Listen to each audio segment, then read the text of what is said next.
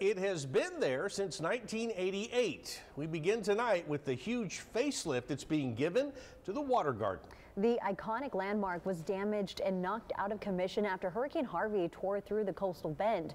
Our Michael Gibson found out whether the plan to fix it is on the schedule and on budget.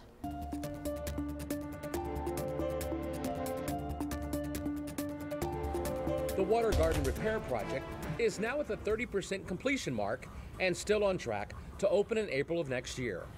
Fulton Construction is doing the design build on this $8 million project, and City Councilman Dan Suckley is happy about the progress they've made so far. Excited to get uh, beyond it, get it open, get it functioning, um, you know, possibly even a, uh revenue generating um, uh, asset to the city. We took a tour of the work site, and it appears a lot of headway has been made here.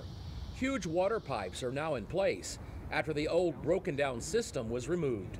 We've taken some of the past sins and we're correcting them with this current design and construction.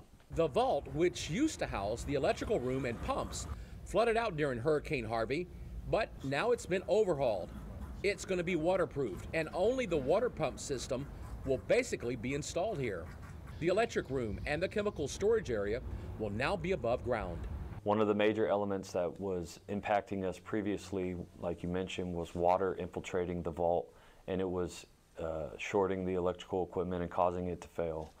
So by doing it the way we're doing it now, we've uh, almost eliminated that risk. While most of the improvements won't be noticeable to the public, one new feature will be.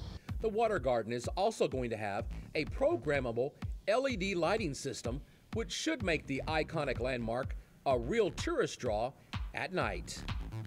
Michael Gibson, 3 News. Very interesting addition there, Michael.